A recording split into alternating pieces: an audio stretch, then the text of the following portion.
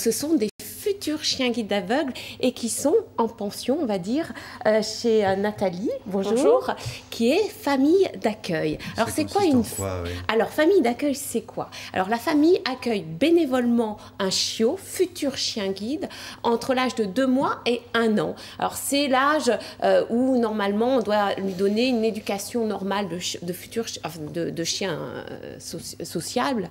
Et c'est la période avant qu'il rentre à l'école euh, de chien guide qui a un nom. Euh, il, il, rentre qu'à un an à l'école de chien guide. Il ne rentre qu'à un an euh, à l'école de chien guide quand il est adulte. Hein. donc là, l'appel que, que, vous répercutez là, c'est qu'en fait, on cherche beaucoup de familles d'accueil. On manque cruellement de familles d'accueil parce que uniquement pour la préparation alors avant qu'il Alors en plus, c'est une grande responsabilité, c'est un grand rôle d'être famille d'accueil parce qu'on doit pré-éduquer ce futur chien guide. Mais on n'y connaît rien.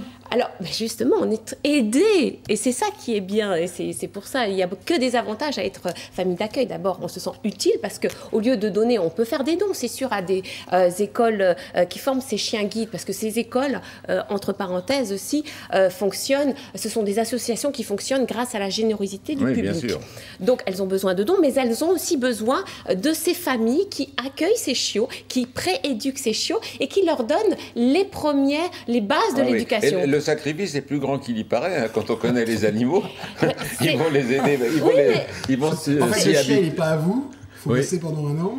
Et surtout, vraiment, c'est vraiment quand, quand, on a commencé à l'aimer, il faut s'en séparer. Surtout. Exactement. Alors, moi je dis non, je, je, ne le prends pas comme ça. C'est vraiment une bonne action. Mm. C'est enrichissant parce que ça vous, euh, même pour vous, c'est très enrichissant. D'abord, c'est. si vous n'avez jamais eu de chien, on vous donne des cours d'éducation gratuites. D'accord. Il y a un suivi pendant 10 mois par des éducateurs spécialisés qui sont au bout du fil tout le temps si vous avez un problème d'éducation avec votre dans toute chien. La France, dans toute la France. Alors, il y a 10 euh, à 20 euh, écoles euh, de chiens guides dans toute la France.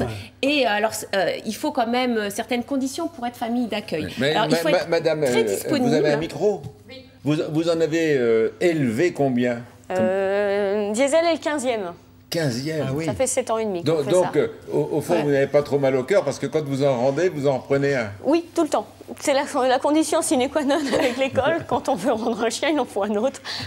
Et actuellement, donc, on en a deux en, éducation. Oui, Augustin Il y a beaucoup de besoins, il y a beaucoup de, au niveau des aveugles et des chiens, il, y a beaucoup de, il y a beaucoup de manque, j'imagine. Il n'y a, a, pas vraiment de chiffres officiels, mais on sait qu'environ 200 chiens guides sont formés chaque année. Il y a trois fois plus de demandes hein, par des personnes malvoyantes ou aveugles.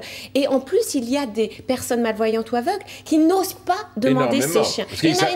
Parce qu'ils ne savent pas que c'est gratuit. Parce qu'ils ne savent pas que c'est gratuit. Ils pensent qu'il faut payer. Voilà.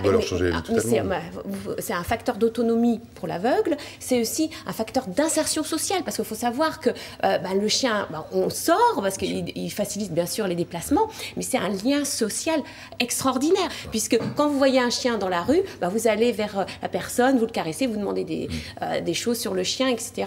Et, c'est quand même extraordinairement différent. J'ai habité longtemps près de Valentin-Houille, là-bas vous devez voir entre ceux qui avaient un chien et ceux qui ont seulement le bâton blanc, leur vie est radicalement différente. Et, hein, parce que le, chien, il est extraordinairement doué. Hein, voilà. Et le, regard, des, change, aussi. change aussi sur le handicap visuel. On n'y pense pas.